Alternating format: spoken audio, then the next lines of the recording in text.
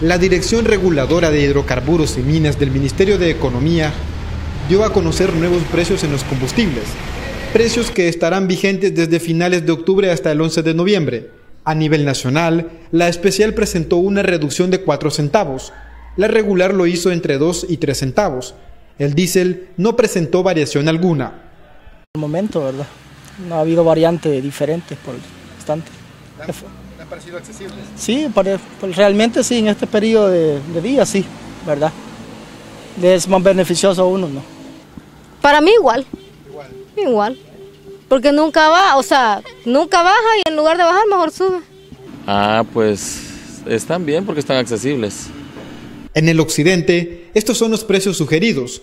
La especial 4 dólares con 15 centavos, la regular 3 dólares con 93 centavos y 4 dólares con 12 centavos el diésel.